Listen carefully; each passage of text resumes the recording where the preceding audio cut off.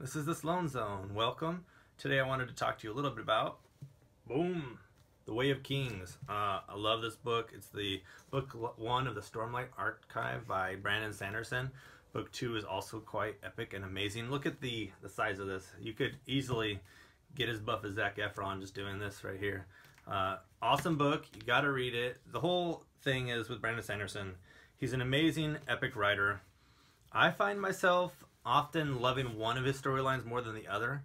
So as I read it, I'll often just stick with one of the stories and skip ahead in chapters and then come back and read the other stories. I know, Brandon, if you're listening to this, uh, you're not gonna like that, but it's just it's I can't I can't get away from that. You know, it's binge watching. I can't leave Kaladin's story because Kaladin is too awesome. So the fact that we have two other point of view characters or more in between, it just it kills me. I have to read the Kaladin stuff. So if you're curious what Kaladin is, people reading a little bit of spoilers perhaps. Uh, so watch out. The main point is he used to be a soldier. He became a slave. Uh, he's part of these people called the Bridgemen who carry these bridges across big chasms and they're fighting these Parshendi, these other warriors who are kind of like uh, an alien race of sort. They're not aliens, it's fantasy world, but you know what I mean. They're kind of like different. They have uh, like hard kind of shells growing out of their backs, like turtles or something, but not really. And uh, kind of more like armor. They, they have like armor that's part of their skin. Uh, so pretty cool stuff there. But the bridge people, the bridgemen, they die all the time because they have to carry these bridges across. They're getting shot with arrows as they're trying, etc., uh, etc. Et and he starts learning that he has some kind of special powers.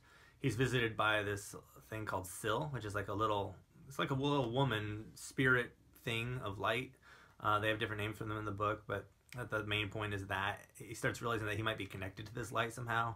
He might have even greater, uh, you know, I don't want to spoil it for you too much, but you know, greater destiny, if you will. and it's it's pretty epic. Uh, he survives this crazy storm where they throw him out there that nobody's ever lived through before. Uh, when they're out there like that, I don't think anybody has. Let me know in the comments if I'm wrong. Uh, but yeah, his powers start coming out, and you see, wow, this is cool. And it's an awesome kind of magic system that has all kind of ties into old mythology and lore inside the book.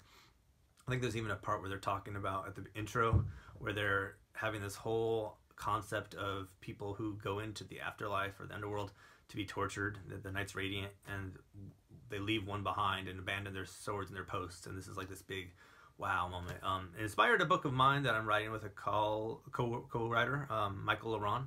Uh, totally different. It's called Modern Necromancy, and it's this whole concept of a guy who's trying to revive his wife from the dead. Uh, it started with this concept that was similar to the prologue here.